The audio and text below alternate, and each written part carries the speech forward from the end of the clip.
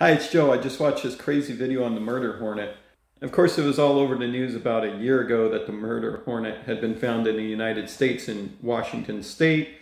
They had found a couple uh, specimens and they did a DNA analysis and it looked like there were hornets from two different hives. But I didn't really do a heck of a lot of research at the time to see what was going on. I know a lot of beekeepers were uh, concerned about it, but I just happened across a video and I'll show different segments in here. You can watch the whole video. I'll put a link in the description. It has 8 million views and it's been around for eight years or 10 years or something. So I'm guessing a lot of you have already seen the video, but it's, it, it's just crazy what these hornets can do. They're also called the Japanese uh, giant hornet. That's actually their more common name, but the murder hornet is kind of the nickname that a lot of people call it. But as you can see in this video, they can absolutely decimate a European honeybee colony. European honeybees don't really have a defense mechanism against the murder hornet. The murder hornets in this video, they decimated a high population of 30,000 bees, and there were only 30 Japanese giant hornets that were doing the attack. And the honeybees have no defense mechanism against them. The honeybees put up a valiant effort. They try and sting them, they try and ball them, but the Japanese giant hornets, they just completely decimate them.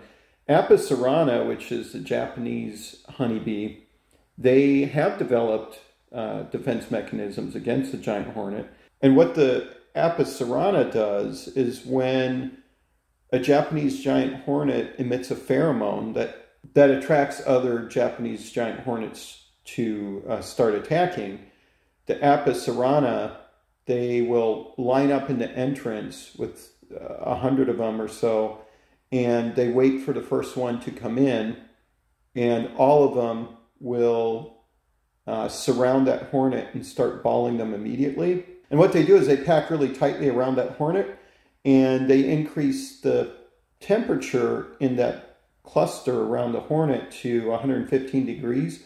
And they also raise the CO2 level in there. And the combination of that kills the hornet. So if they catch it quickly enough, they uh, can prevent an onslaught of attackers. The European honeybee, they, they do ball predators when they come in the hive, but not to that degree, and they don't have that kind of response to the Japanese hornet. So if the Japanese hornet does start spreading in the US, it is a big concern. I was looking into what beekeepers in Asian countries do to prevent the Japanese hornet attacks, and they use things like traps, they um, have some kind of entrance guards, they spray them. So there are ways that the beekeepers deal with them. And if they ended up spreading in the US, all the beekeepers would have to figure out how to deal with them. I, I was just mostly intrigued by the video. It's just a crazy video to watch. As you saw in the different segments that I showed, the bees are just completely defenseless to these Japanese hornets. And what the Japanese hornets are trying to do is they're trying to get inside the hive and eat the bee brood. They also eat the honey, but they're trying to get inside of there and consume the bee brood, which they'll take to their own larva, and their uh, larva will consume that bee brood. And they do sometimes feed them adult bees, but what they really like is that bee brood. It's a much better food source for them. So they try and actually get inside the hive, and in so doing, they completely decimate the population go inside of there, and then they start consuming that bee brood. So what we have here in the United States, we have the yellow jackets and the bald-faced hornets. They eat bees, and they will go inside the hive, and they do attack them. But if the hive population is decently strong, they can avoid much of the onslaught and um, beekeepers can trap the, the bald-faced hornets and that kind of thing. They are a nuisance to the hives. They do hurt the population, but it's nothing compared to what the Japanese hornet does. I mean, it's just insane. Just look at these videos. Look at the pile of bees on the bottom of the uh, bottom board and around the hive entrance. In this particular video, it says that the attack took three hours. you can see they get tired of attacking. Some of the hornets drop in exhaustion, but the other hornets come and help them. They'll actually feed them and help them get revived.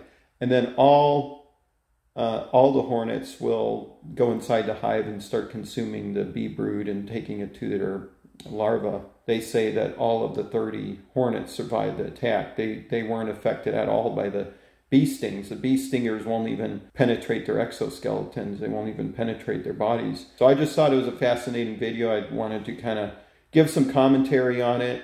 If you want to see the entire video, just click on the link below. I'm not too concerned about it at this point. They found a couple in, in Washington state. Hopefully they don't spread to the rest of the country. But if it does come to the US, it's not going to be fun for us beekeepers.